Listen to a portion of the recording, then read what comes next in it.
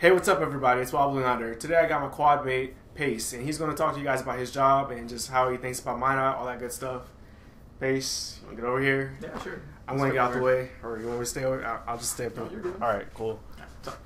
Uh, my job, I work sheet metal, aircraft structural maintenance, and to tell you the truth, my job it's not all that hard once you get the hang of it. Truthfully, um, I do with the structure of the aircraft. Any damage that is done, like dents, scratches, nicks, gouges, things like that, any damage that's done to the outside uh, in, uh, exterior of the aircraft, I work with and I fix. Um, same thing with composites, so like fiberglass, Kevlar, things in that category. What airplane do you work on? Oh, well, we work on the uh, B-52, me and my quad mate, Aaron Simmons here.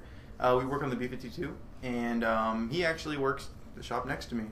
Uh, Minot is not a bad place to be, I promise you. Um, the town is a little bit out of the way. Um, there's nothing really bad I can really say so far about this place. I've only been here a few months now, and I have nothing really too negative to say other than it's getting cold. I mean, but that's going to happen, of course. It's going to be freezing.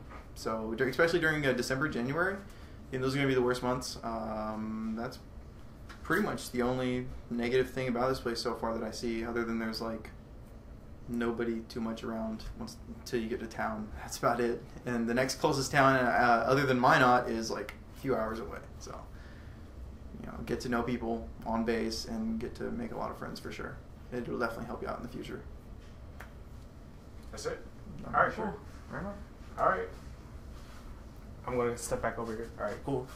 Well, uh, yep. So I'm going to go ahead and uh, end the video.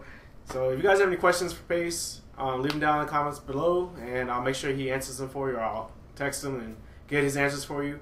Um, you actually you, sh- you sh- have the same job as Kyle Gott, right? Yeah, oh, Um, yeah, so, actually yeah. I do. I have the same job as uh, Kyle Gott in case you don't, in case you kn- you follow him too for whatever reason. I have the same job as him, so I mean, if you've seen his videos and he talks about his job, it's pretty much the same thing I do. So I mean, I'm kind of new to it, a little newer than probably he is, but I get the job done just as well. So I'm sure. All right, cool. Yeah. no. All right, we'll see y'all later. See you later.